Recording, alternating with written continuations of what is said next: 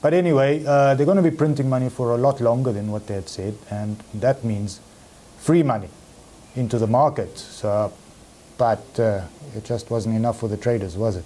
They went the other direction. This morning we had German manufacturing figures come out, and that showed an increase, but the market ignored it because Mario let them down.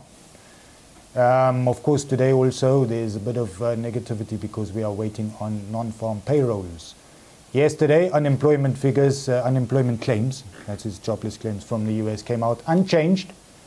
And uh, it looks as if the market is taking that as a sign to say that today's non-farm payrolls data are not going to be significantly better and therefore are not going to add more ammunition to the cause for a rate hike. Don't know where that reasoning comes from because Janet has already told us it's coming.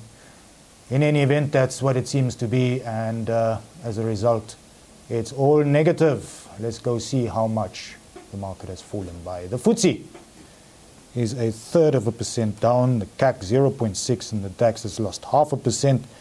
Joburg Alsi 1.6 in the red, industrials down by 1.8, financials by 1.9%. The overall resources index is higher, it's gained 1.3, but gold mining is down by 0.7%. And now this sounds quite uh, massive. Platinum miners are down by 12%. But you got to remember that they're coming from a low base anyway. Gold is at 1,061 per ounce, 856 for an ounce of platinum, and oil at $43.20. 14 Rand 41 for a dollar, 21 Rand 79 for a pound, 15 Rand 65 for one euro, and then BRICS versus the Rand. It is, okay, the yuan, yo, okay, we're paying a lot more yuans for a rand now. We are speaking to Ian Cruikshanks, he's chief economist at the SA Institute of Race Relations, and that's probably very appropriate, Ian, considering that we are talking economics today. Fitch. Yes. Um, let's start off with that one. It's obviously the big one. Are Fitch guaranteed to cut? No, there's no such thing as a guarantee. And I think we have to bear that in mind. And don't forget that the markets have already discounted a, a, a slight worsening uh-huh. in that rating. So I think the reaction may not be too severe. Will they or won't they? Uh, I, would say that a lot of foreign investors have voted with their feet already. They have actually taken some of their funds out of from South Africa, from the Rand arena. So perhaps most of the damage that could have been done has been done. Mm-hmm.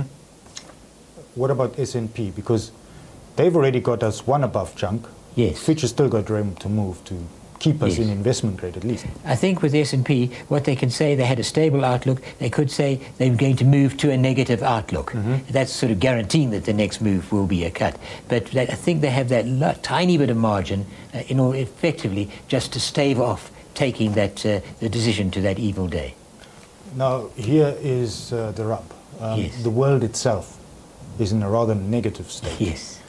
And I don't think that the people at the ratings agencies will be unaffected by this. So, do you think there might be an overreaction considering the negative state that the world is in? Wow. Uh, look, that's possible. But let's face it, we've been downgraded quite considerably mm. already during the past year or two years. And so they could say that, well, they've done a, you know, a lot of taking into account the changing situation we've had, especially since the, uh, the financial disaster we had in 2009. Yes. So uh, perhaps it, we'll just say it leaves time to leave space especially if we look at uh, how uh, the finance minister is managing affairs now. Um, and they may say, look, it's not all doom and gloom. Let's give them a little chance to see what happens in the next six to 12 months the finance minister, you mentioned him. I'm sure that's to do with him speaking out. Yes, and, and that's a good point. That is just saying, look, we can't keep on offering guarantees and funding uh, and rescue operations indefinitely. It's got to be paid for. How do you pay for it? You take funds away from another source, another source of which should be infrastructure development or wherever it is, which slows down the potential for the economy to recover. So I think now, having been seen to stand up and say, no, we're not going to let you have the money means they're not going to lose uh, to use money in as much of an unproductive way as it would be uh, if they transferred that to keep SAA afloat for longer. Let's take a step back. ECB now. Right. Mario did give us a stimulus. Yes. But uh, Yeah, well, what Yes, but you give with the one hand, take with the other, as you Ah. pointed out. Remember, uh, the deposit rate is now has been moved from minus 0.1. In other words, you give them 100 and they give you back 99.9 to minus 0.2. Give them 100 and they give you back to 99.8. It's difficult to see that that is enriching the general population. Hmm. I don't think it is to any significant extent, but it does say that that is the cost of ensuring the safety of your capital. And I think there's a worldwide move there. Security of capital is more important than the return on that capital. One of the aims of QE in Europe is to weaken the euro. Yes. And I'm sure that even yesterday the ECB were probably thinking that on the 16th the Fed's going to do it for us anyway. Well, perhaps, yes. Uh, I think what we have seen is that although the euro has weakened, largely thanks to monetary policy, um, the, the European exports, European foreign trade, is improving, but it's not booming. It's not a bustling sector at all. So I think that they would rather say that it's a very slow process, but it is having some results. Uh, the last thing I want to ask you about is OPEC. Yes, OPEC is having a meeting this weekend. right. Within the organization, there's a lot of disgruntlement. Some people want to cut production, but they can't afford to, can they? Well, they need the cash flow. This is it. Over years, they've had their own infrastructure development so that uh, oil is no longer the all important commodity of these economies because at some stage it's going to run out. Um, and, uh, but what we're seeing is that American technology, I think, is effectively running the show at the moment. They have proved that they can and will produce oil at consecutively lower levels, lower cost levels, and uh, yes, it means that a lot of oil is left in the ground, but they can come back for it if and when the oil price comes up to, back to $50 or higher or wherever it is.